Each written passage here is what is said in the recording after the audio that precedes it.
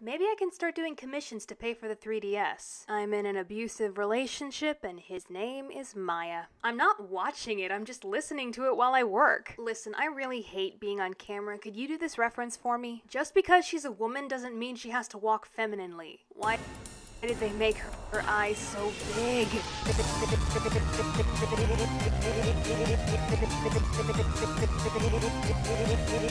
The pacing is terrible in this movie. I like the specular on the lip gloss.